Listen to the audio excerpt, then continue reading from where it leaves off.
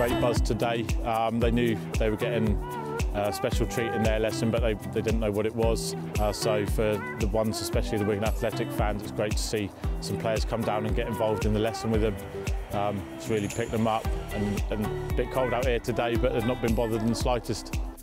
We've just been doing um, some throwing and catching stuff, a few activities, um, just just getting involved with the PE session that they've been doing, so it's been, it's been good fun to be fair.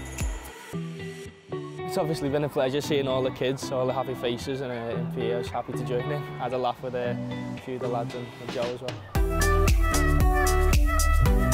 Especially at such a young age as well. You know, if you're doing sport stuff when you're a younger kid, it will give you a better chance of becoming something in sports other than it keeps people away you know, from antisocial behaviour as well. So if you do sports from a young age, it keeps your sport orientated and keeps your mind on sports. Really important it um, shows the kids um, that they've got brilliant people looking out for them, look, looking after them and stuff like that. Um, it's a big help for them and gives them a little boost every, every now and then in school and you can see the smiles on all the faces and how happy they all are with the work that you do. So it's, uh, yeah, it's brilliant to see.